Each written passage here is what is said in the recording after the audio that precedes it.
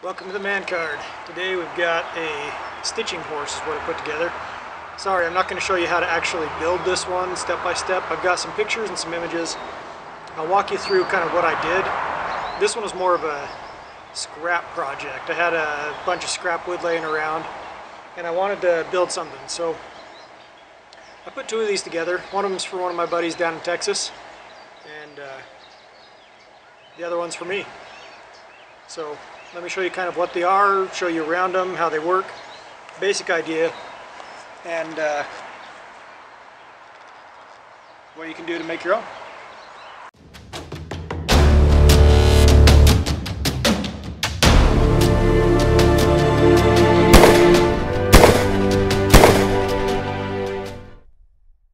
So the basic idea behind a stitching horse is so you can have your hands free and still do the work that you need to.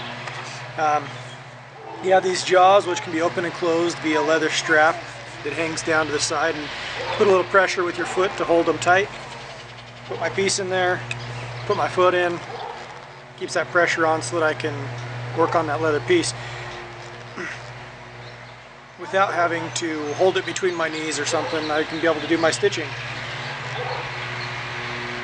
and get things done that way.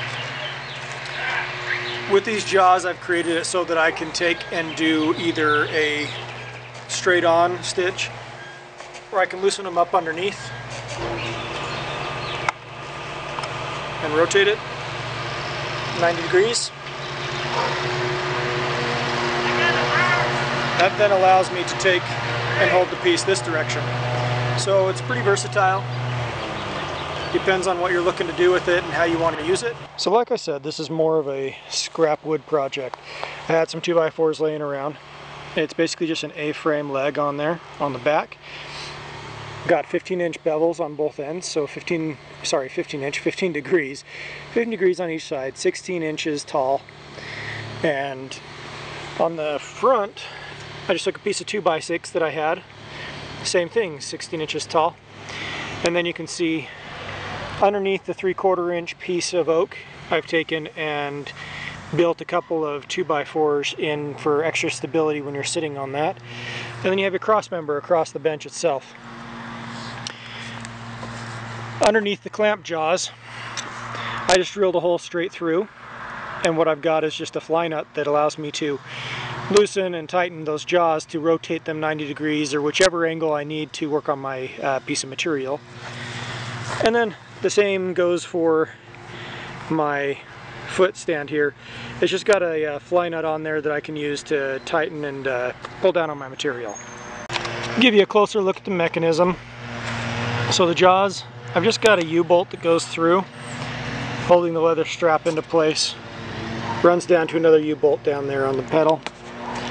If you look in here, you can see the bolt that goes all the way through.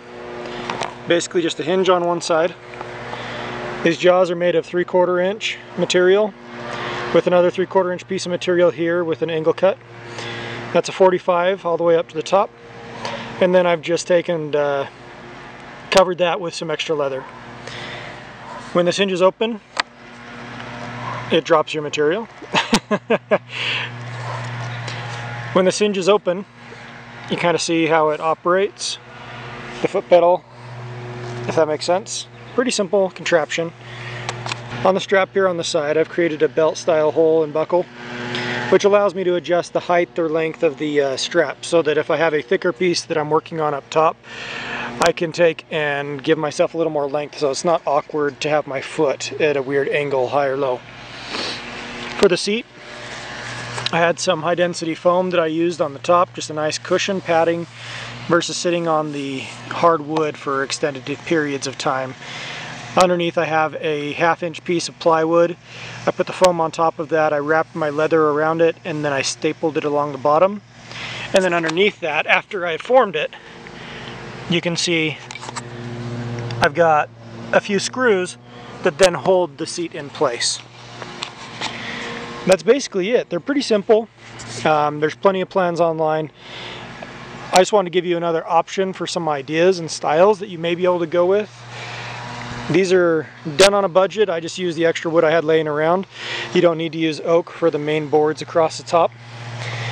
You can always grab just a piece of uh, 1 by 10 pine material and just make sure you put some good support underneath it with those 2x4s.